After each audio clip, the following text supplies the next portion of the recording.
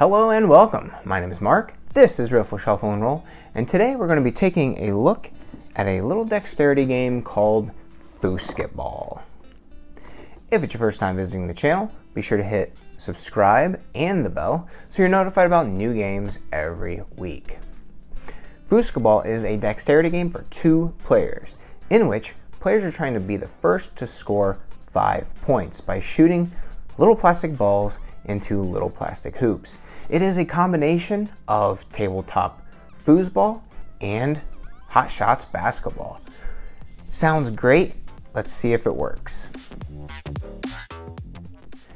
All right, let's open up Foosketball and you will see that everything is nicely flat packed. Now this is the first time opening the box, so I have not yet put this bit together, but you can see this is how everything's gonna be stored. Now in regards to storage, Hasbro does a really nice job putting everything you need to know right on the underside of the lid. So they have the contents laid out, the directions for putting the unit together, and how to store it. So you see the layers and how it should look from the top view. I think that's pretty slick.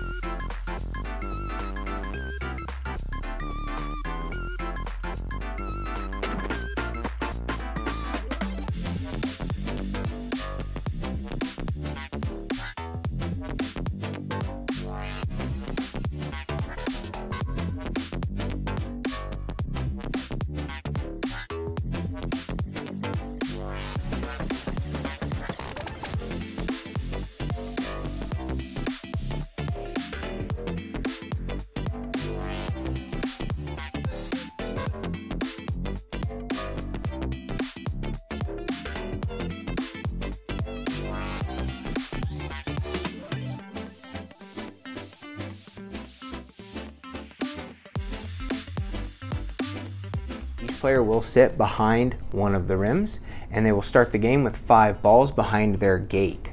It does not matter which player starts with the golden ball. To begin the game, both players will count down three, two, one, and then they will pull back on their gates. Doing so has all the balls roll out onto the court and the game can begin. Players are simply trying to score baskets Orange balls are worth one point and the golden ball is worth two. You are allowed to steal a ball from an opponent, you can knock it out of their hand, and you can block their shot by shooting a ball of your own at the same time. First player to five points wins the game.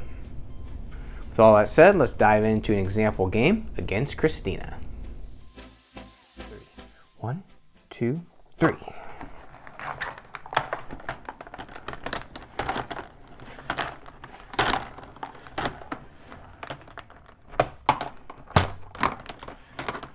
You make that? Yeah.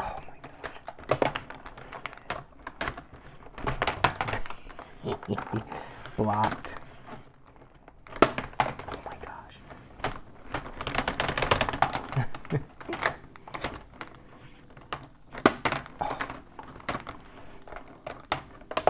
oh. oh, I didn't even have a ball. Golden ball. Two to nothing. Yes! Oh, come on. You dropped it. oh, no. Three to two. Okay. This is the final countdown.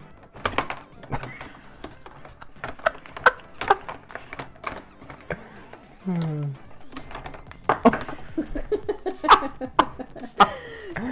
there are. We're gonna have to take a timeout to get the balls.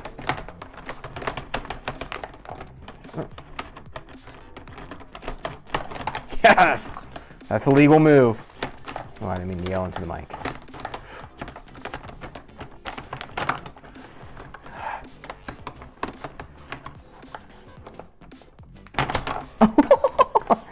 How far?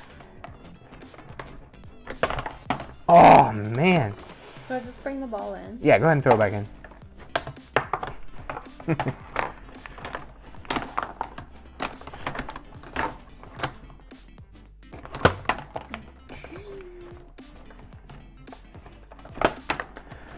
hmm.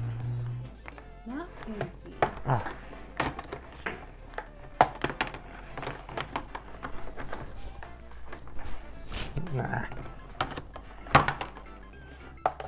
Yes, that's four. I only need one more.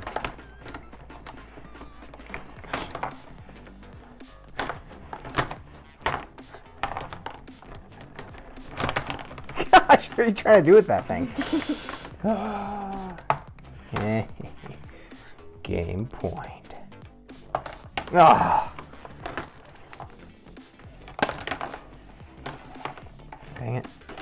Oh.